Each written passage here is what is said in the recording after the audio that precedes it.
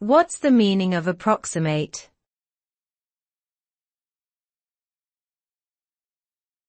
Approximate.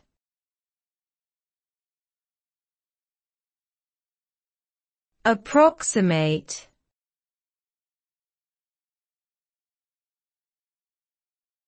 Approximate.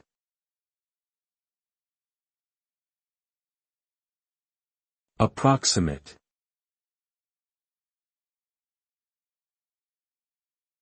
The term approximate refers to an estimate or a value that is not exact but is close enough to the actual value for practical purposes.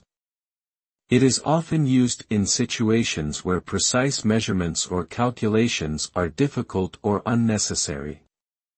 Approximations can be made using various methods, such as rounding, truncation, or statistical sampling. The accuracy of an approximation depends on the specific context and the degree of precision required. In summary, an approximate result is a value that is close to the actual value but not necessarily identical, and is acceptable in many practical applications.